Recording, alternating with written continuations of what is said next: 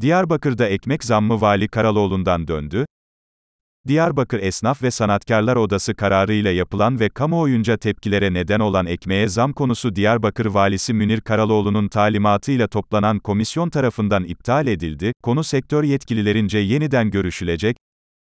Geçtiğimiz günlerde un ve maya fiyatlarındaki artış sebep gösterilerek Diyarbakır Esnaf ve Sanatkarlar Odaları Birliği tarafından 29 Ocak'ta alınan karar sonrası 400 gramlık ekmeğin gramajı 500 grama çıkartılırken, fiyatına da 1 liralık zam yapılarak 2,5 lira yerine 3,5 liradan satılmaya başlanmasının ardından kamuoyundan gelen tepkiler ve Ticaret İl Müdürlüğü'nce yapılan denetimler sonrası Vali Karaloğlu duruma el koydu.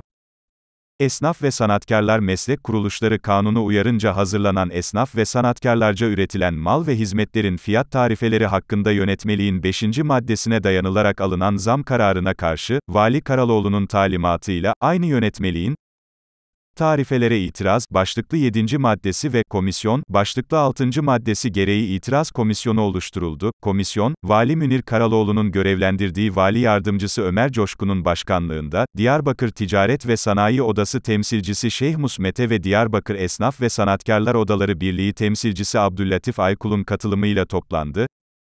Yapılan görüşmeler sonucu ekmeğe yapılan zam kararının iptal edilmesi, Diyarbakır Fırıncılar Odası'nca yeniden bir fiyat ve gramaj çalışması yapıldıktan sonra DESOBA gerekli müracaatta bulunulması ve yine Diyarbakır Fırıncılar Odası'nca üyelerine dağıtılan tarifenin toplatılmasına karar verildi. Alınan karar sonrası, yapılacak çalışmayla ekmeğin gramajında herhangi bir değişikliğe gidilmeden yeni bir fiyatlandırma yapılması bekleniyor.